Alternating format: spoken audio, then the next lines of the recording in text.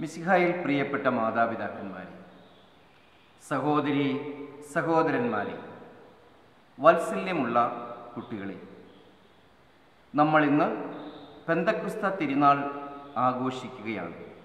ഈ തിരുനാളിന്റെ മംഗളങ്ങൾ നിങ്ങൾക്ക് ആശംസിക്കുകയാണ്. നമ്മുടെ കർത്താവ് മിസിഹായുടെ കൃപയും പിതാവായ ദൈവത്തിന്റെ സ്നേഹവും പരിശുദ്ധാത്മാവിന്റെ സഹവാസവും നിങ്ങളുടെ കൂടെ ഉണ്ടായിരിക്കട്ടെ.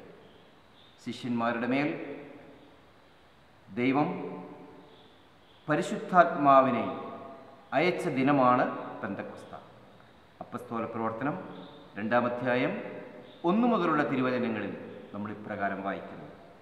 പന്തക്കുസ്ത ദിനം സമാഗതമായപ്പോൾ അവരെല്ലാവരും ഒരുമിച്ച് കൂടിയിരിക്കുകയായിരുന്നു.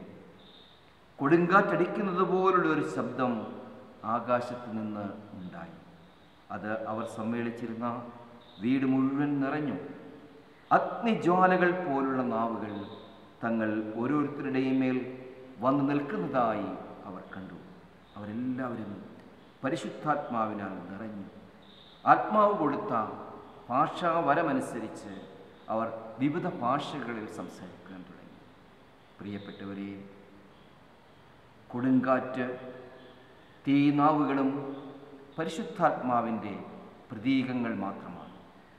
കൊടുങ്കാറ്റ് സകലതിനെയും തകർക്കുന്നത് പോലെ അദൃശ്യനായ പരിശുദ്ധാത്മാവ് മനുഷ്യഹൃദയങ്ങളിൽ അത്ഭുതകരമായ മാറ്റം വരുത്തുവാൻ ശക്തിയുള്ളതാണ്. ദൈവത്തിന്റെ വചനം നമ്മൾ പറയുന്ന വചനം മറ്റുള്ളവർക്ക് കാണുവാൻ സാധിക്കുകയില്ല കേൾക്കാൻ മാത്രമാണ് സാധിക്കുക അത് അത്ഭുതകരമായി മനുഷ്യഹൃദയങ്ങളിൽ മാനസാന്തരം വരുത്തുവാനുള്ളതാണ്. പ്രിയപ്പെട്ടവരെ ഇന്നത്തെ സുവിശേഷത്തിലേക്ക് കടക്കുമ്പോൾ വിശുദ്ധ യോഹന്നാൻ അറിയിച്ച സുവിശേഷം.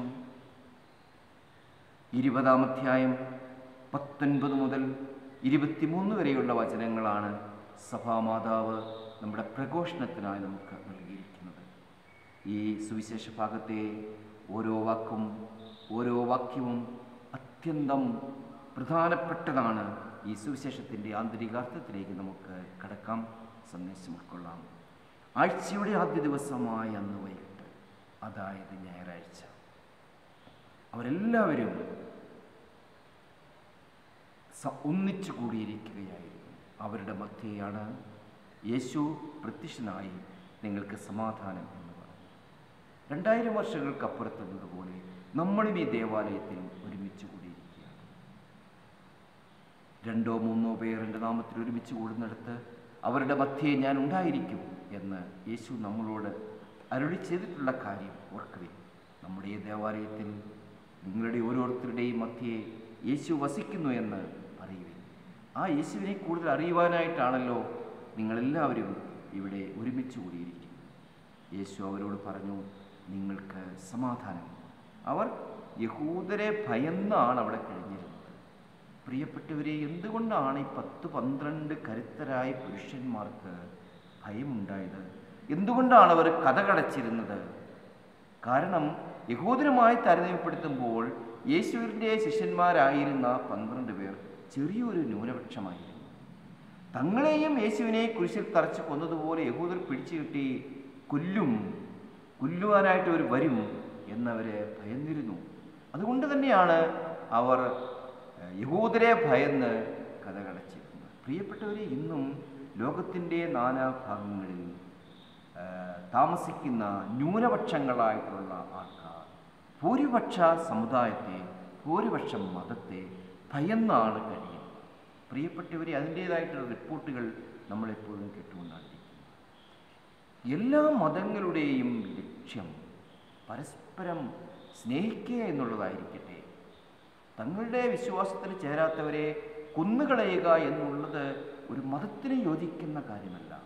പ്രിയപ്പെട്ടവരെ മതത്തെക്കാൾ ഉപരി മനുഷ്യജീവൻ രക്ഷിക്കുക എന്നുള്ളതായിരിക്കട്ടെ ലോകത്തിലെ എല്ലാ മതങ്ങളുടെയും ലക്ഷ്യം. എവിടെയൊക്കെ ന്യൂനപക്ഷങ്ങളുണ്ടോ അവരും മനുഷ്യരാണെന്ന് കരുതുവാനും അവരുടെ ജീവൻ സംരക്ഷിക്കുവാനുമുള്ള വലിയ ദൗത്യം എല്ലാവർക്കുമുണ്ട് എന്നുള്ള ഒരു ചിന്ത ഈ ലോകത്ത് വളർന്നു വരേണ്ടതായിട്ടുണ്ട്. പ്രിയപ്പെട്ടവരെ യേശു അവരെ ധൈര്യപ്പെടുത്തുന്നതായി സുവിശേഷത്തിൽ നമ്മൾ വായിക്കുന്നു. യേശു അവരോട് തന്റെ കൈകളും പാർശ്വവും അവരെ കാണിച്ചുകൊണ്ട് പറഞ്ഞു പിതാവിനെ അയച്ചതുപോലെ ഞാനും നിങ്ങളെ അയക്കുന്നു. വാസ്തവത്തിൽ ചെന്താക്കളുടെ ഇടയിലേക്ക് കുഞ്ഞാടുകളെ എന്നതുപോലെ തന്നെയാണ് യേശു ശിഷ്യന്മാരെ അയക്കുന്നത് എന്ന് നമുക്കറിയാം. അവർക്ക് പരിശുദ്ധാത്മാവിനെ ലഭിച്ചതുകൊണ്ട് ഏത് പ്രതിസന്ധികളെയും തരണം ചെയ്യുവാനുള്ള വലിയ ആത്മീയമായ കരുത്ത് അവർക്ക് ലഭിച്ചു നമ്മുടെ മുൻപിൽ ഒരു വലിയ ദൗത്യമുണ്ടെങ്കിൽ നമ്മുടെ ഭയം മാറിപ്പോകുന്നു എന്ന് നമുക്കറിയാം. സ്വാമി വിവേകാനന്ദൻ ഇതിനെക്കുറിച്ച് വളരെ മനോഹരമായ ഒരു ഉദാഹരണം ചൂണ്ടിക്കാണിക്കുന്നുണ്ട്. ഒരു സ്ത്രീ വഴിയെ നടന്നു പോകുമ്പോൾ ഒരു പട്ടി അവരെ കടിക്കാൻ വന്നാൽ അവർ ഓടി രക്ഷപ്പെടും. എന്നാൽ അതേ സ്ത്രീ തന്നെ തന്റെ കുഞ്ഞിനെ ഒരു സിംഹം കടിക്കാനായിട്ട് വരുന്നത് കണ്ടാൽ ആ സിംഹത്തെ എതിരിട്ട് കുഞ്ഞിനെ രക്ഷിക്കും. അപ്പോൾ അവർക്ക് ഭയമില്ല.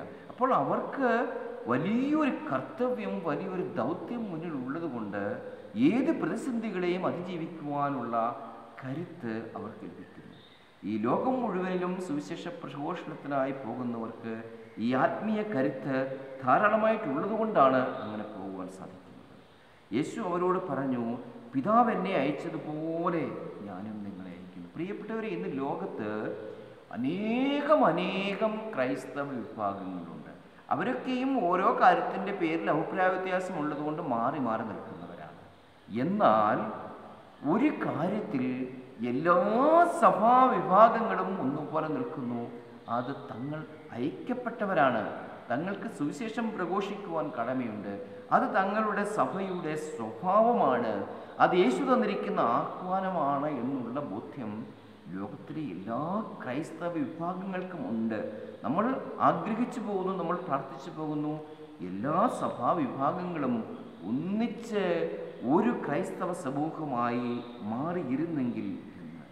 യേശു അവരുടെ മേൽ നിശ്വസിച്ചുകൊണ്ട് അവരോട് പറഞ്ഞു നിങ്ങൾ പരിശുദ്ധാത്മാവിനെ സ്വീകരിക്കുകയും പ്രിയപ്പെട്ടവരെ ആ ശിഷ്യന്മാരെല്ലാവരും പരിശുദ്ധാത്മാവിൽ നിറഞ്ഞതുകൊണ്ടാണ് ആ വലിയ ശക്തി അവർക്ക് ലഭിച്ചത്. ലോകത്തിന്റെ നാനാഭാഗങ്ങളിലേക്കും അവർക്ക് പോകുവാൻ സാധിച്ചത്.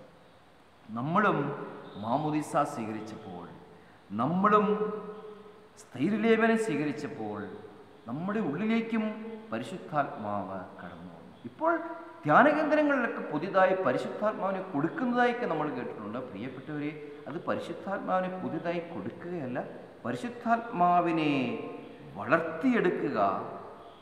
ആത്മീയമായി മനുഷ്യരെ വളർത്തുക എന്ന് മാത്രമേ ഉള്ളൂ. ഇവിടെ ഇരിക്കുന്ന എല്ലാവർക്കും എല്ലാ ക്രൈസ്തവർക്കും ദൈവം പരിശുദ്ധാത്മാവിനെ നൽകിയിട്ടുണ്ട്. പ്രിയപ്പെട്ടവരെ നമ്മളുടെ മാമോദീസായുടെയും സ്ഥൈര്യലേപനത്തിന്റെയും പ്രാർത്ഥനാ കർമ്മത്തിൽ മനോഹരമായ ഒരു ഭാഗമുണ്ട്. അത് വായിച്ച് ഒരിക്കൽ കൂടി നിങ്ങൾക്ക് വേണ്ടി പ്രാർത്ഥിച്ചുകൊണ്ട് ഈ സന്ദേശം അവസാനിപ്പിക്കാം എന്ന് ഞാൻ കരുതുകയാണ്.